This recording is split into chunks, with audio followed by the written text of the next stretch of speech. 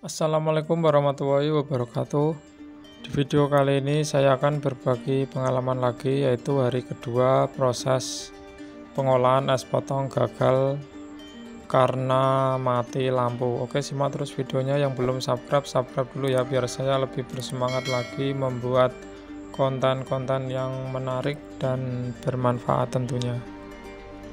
Pengolahan hari pertama itu saya estimasinya 110 jadi 150 jadi nambah 40 lonjor. Kalau yang hari kedua ini itu estimasinya 70 lonjor jadi 100 lonjor. Berarti bertambah 30 soalnya semakin sedikit itu saya tambahinnya juga sedikit. Takutnya nanti berubah tapi di hari pertama kemarin itu hasilnya terlalu bagus mungkin karena kebanyakan gula ya. Aturannya gulanya 5 kilo itu saya kasih 6 kilo. Terus kelapanya juga lumayan banyak karena saya kurangin di air perasan santannya. Di hari kedua ini saya memakai gula 3 kilo totalnya. Yang adonan malam setengah kilo ini setengah kilo aturannya itu 3 kilo setengah tapi saya kurangin setengah kilo soalnya ada tambahan.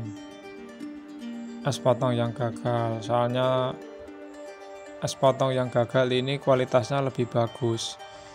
Jadi walaupun dia gagal itu dicampurin masih tetap bagus. Es potong yang gagal ini direndam pakai air biasa saja setengah beku langsung dicampurin di adonan yang baru itu malah lebih bagus soalnya dia masih dingin-dingin. Itu kalau dibekukan itu nggak perlu waktu lama sudah beku. Malah lebih enak ketimbang kita nyampurinya sudah tidak dingin lagi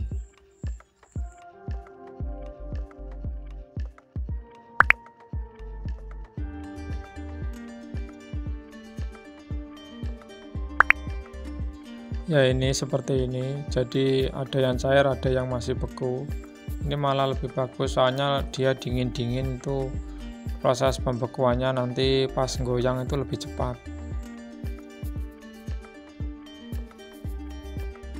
Ya ini sisa sedikit. Pokoknya kalau yang gagal itu sudah cair beku lagi di dalam freezer itu warnanya lebih terang.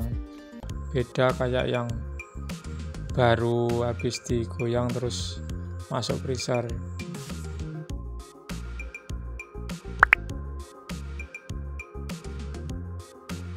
Untuk yang pandan cuman memakai 5 lonjor terus saya tambahin 2 gelas adonan yang baru